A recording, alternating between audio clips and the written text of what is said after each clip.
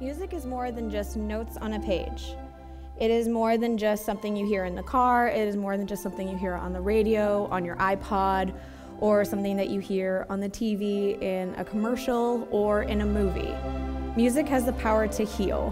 And before I get too far into that, I'll explain how it is involved in the world.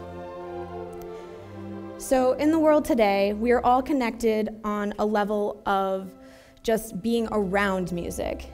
If you're in a music hall, you are connected just by sitting next to someone that is listening to music. You may not necessarily be talking to that person, but you are connected to them on a level of just listening to the music. You are listening to the same music that is being played up there, whether it is instrumental, whether it is choral, whether it is a rock concert, or whether it is a movie being displayed on the screen that has music playing in the background. You are the observer, you are the person sitting in that vicinity, and you are connected in that way. If you're in a fast food restaurant, I'm sure you can all connect with me in the way that you hear music playing in McDonald's or Subway, and you all can hear the music. The purpose of that is for you to feel kind of relaxed and for you to enjoy your meal and for you to feel at least a sense of being and connecting with your meal. At least I hope you're feeling kind of relaxed when you're connecting with your meal. Um, you also feel connected when you're standing in an elevator. I feel semi kind of anxious when I'm in an elevator because the next person that comes in, I'm like, ah, I don't know who you are. I don't want to talk to you. I'm just a very introverted kind of person. But the music that's playing in the elevator, I can connect with that person because then I feel kind of relaxed when the person comes in the elevator. And I'm hoping that you can connect on that level with me, knowing that if the person comes in the elevator, you can say, okay, I'm kind of like not so anxious anymore. There's something kind of soothing playing in that elevator. I'm not going to be so anxious anymore. And you can also connect with other people in the way that music in your headphones that's playing, you are connecting your mind, body, and soul all at the same time. And your friends and you can connect on that level with knowing that you might have the same musical interests as well. It may not be the same, but at least you can connect with the same genre. Whereas classical music and romantic music, you have Bach, Mozart, and you have Beethoven. And then with rock music, you have Breaking Benjamin, you have Skillet, you have Skrillex, which is more electronic. I don't know why I put that in rock music, but you get what I'm trying to say here. Music is all around us. And the other connection I can make is that music is also in nature. Now, it may not be playing on like a speaker, but music is in the trees, it is in the water, it's in the plants. When you hear the wind blowing through the trees, you can hear the rustling of the leaves, and that is music in itself. Music is being made all around us, and that in itself is just beautiful because music is being made in every essence of the world. Now, my talk is about music and its power to heal. So, music therapy is one of those not very well known kind of things. Uh, you hear therapy as more of the occupational therapy and physical therapy. So, some of those more uh, physical therapies. Music therapy is a very holistic therapy, and by that I mean full body therapy. So, it not only gets the physical portions of your body, but it also gets the mental and emotional and cognitive parts of your body. And for me, that reaches on many, many levels uh, for human beings. Music therapy, uh, especially nowadays, is being reached for people that have PTSD, anxiety, depression, and all of these up and coming mental disorders. Uh, for me right now, this music playing in this slideshow is definitely giving me a sense of uh, relief because I am anxious just talking to you. I don't know if you can tell, but I am shaking like a leaf. and this, this is real. I'm not even joking. But can you tell that I'm even kind of uh, doing that? I hope not, but we'll keep going anyway. So, music therapy is very much a full body experience. And for many people, it can help connect to them on a level that they didn't even realize because it can reach them in ways that they didn't even realize. It can touch their minds in a way that can reach memories that they didn't even realize that they had and can connect on a whole different level in a back part of their memory. It can reach them on physical levels that can help them to walk again. It can help them to move throughout their day and it can help them to actually get up out of bed. So, how do I know so much and how can I connect on this level? Well, I'm going to tell you. And for me to tell you, I need to tell my story. And at this point in my presentation, I need to give a trigger warning. And if any of you in this room are um, particularly not comfortable with sexual uh, talk, you are free to leave, and I am totally okay with that. Okay. So, coming to UMaine, I come from a very small town, and I didn't have very many people from my uh, background or from my town that came with me. So, I'm a very introverted person. Uh, talking up here, like I said, gives me a little bit of anxiety. So, I was very afraid to come to a college that I was told had 10,000 kids. so, I thought, I'm going to get lost. Uh, but I'm a music education major, so I was told that we have a very small um, incoming class. So I had 30, 35 kids in my class. So I thought, oh, I'm going to get to know all of them. So it was great. I started to make friends. It was great. I started to make connections in uh, all my classes. I started to get to know all my classmates on the music education level. Now, in general education classes, you know, there's about 300 kids. I was like, okay, I don't, I don't want to be in your classes. I'm gonna, I'm gonna skip those till senior year. And now I'm realizing it now. Um, so I kind of skipped my uh, general education classes, but on the music education level, it was great. I got to know all my friends. And freshman year was really, really great. I kept uh, all of my friends that I started to make, and my boyfriend was really great as well. Um, he was very supportive through most of it um, until I was sexually assaulted by him. And probably right now, going through your head, you're thinking, that can't happen. And I didn't think it could either. So I brushed it off. So sophomore year continued, and I finished freshman year and went to sophomore year. Kept most of my friends. Um, the only thing I had going was my music classes, and that's the only thing I wanted to keep going. Um, I skipped the rest of my classes, and the only thing I wanted was my music classes. So, and I kept going, and the only thing I wanted to attend was University Singers, and it was one of the many things that I love because I got to sing, and I got to be around people that loved music, and it was one of the best experiences, and it still is the best experience of my life. And then my boyfriend sexually assaulted me again. And again, it's probably going through your head again that a boyfriend cannot sexually assault his girlfriend. But they can. Because, as it is said, sexual assault is sexual assault if there is no consent. And there wasn't. And I did say no. And as it was, he did not care. He did not do anything. He did not care about me.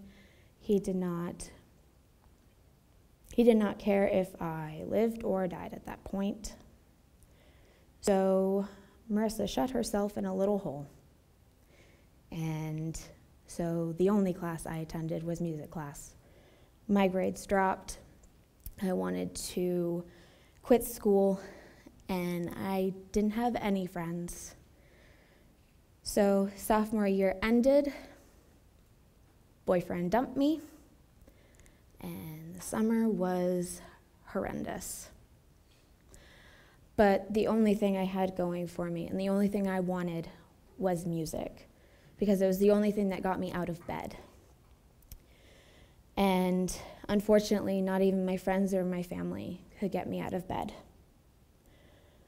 And for me, that was the worst thing in the world, but again, music was the only thing that I needed because I didn't realize how much music meant to me until I realized how much it could get me out of bed.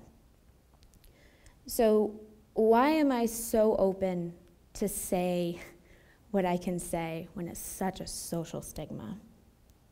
Because this is what happens today. And this is probably going to be the most disturbing picture you are going to see all day. And out of this whole picture, these are the two most disturbing facts that I can find that every two minutes, someone is sexually assaulted in America, and 97% of those people will never see a day in jail. And for me, I thought when I was sexually assaulted that I was the only one. And for most of us that are survivors and victims of sexual assault, we all think we are the only one.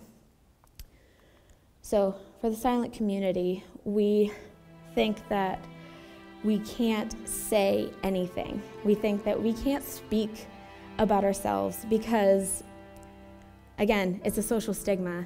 And I'm hoping that most of you don't think that I can't have a voice. But I know that I have a voice because I can speak my mind now and I can speak my truth. So, unfortunately for me, rape is not just a word anymore. And it is my pain and it will not be my pain anymore. So I'm hoping to stop this silence because for most people it is very, very hard for them to even say this.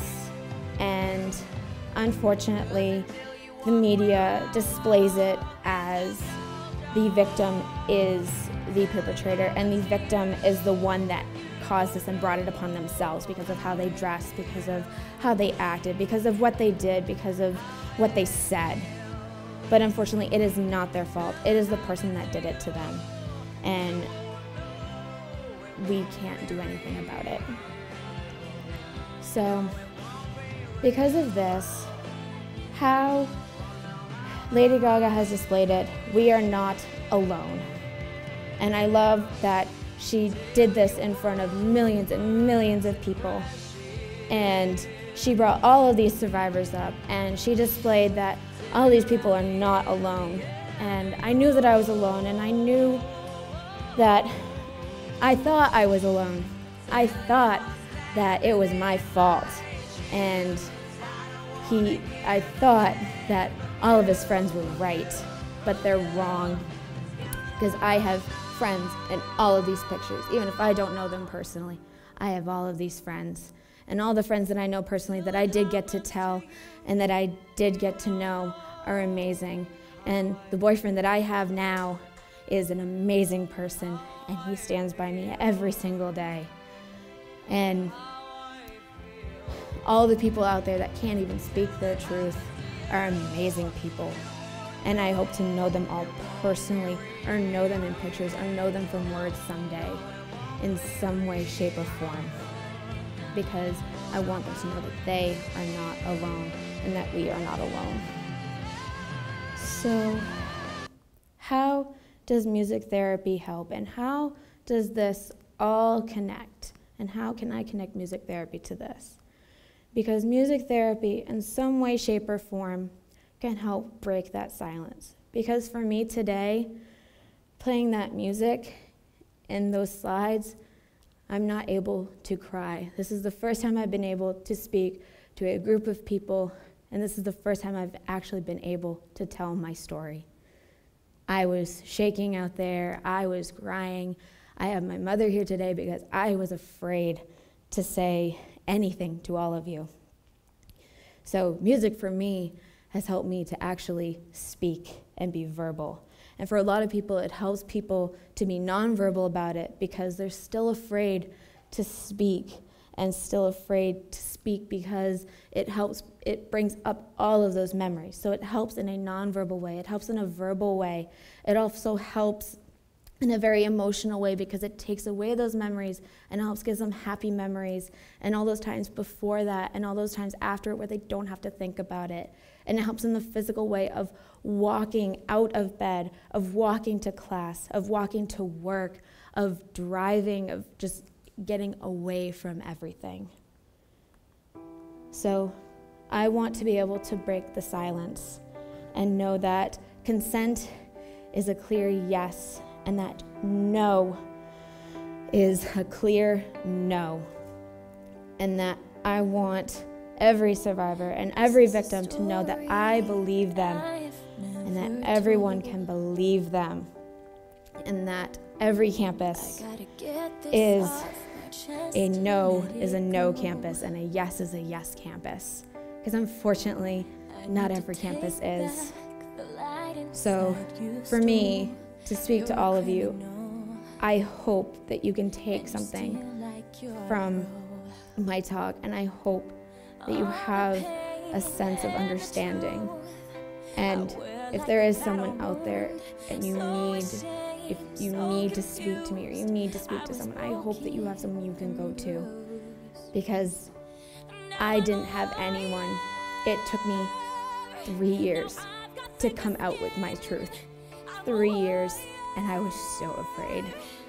I had to come out to my boyfriend. I was so afraid. I got drunk that night to tell him. I'm serious, I did. I got drunk. It was the last time I got drunk. Because I got in the shower and I was laughing my head off, and my roommate was like, You okay? And I'm like, But I did. I had to get drunk to actually tell my boy, current boyfriend that it happened to me. But I did. And I am so glad that I did. Because I had the strength to tell all of you. And I'm so glad that I did. And this quote means so much to me now, more than it did before I even saw it. Music expresses that which cannot be put into words and that which cannot remain silent. Because now I know that I am not alone. And all the survivors and victims, I hope they know that we are not alone. Thank you.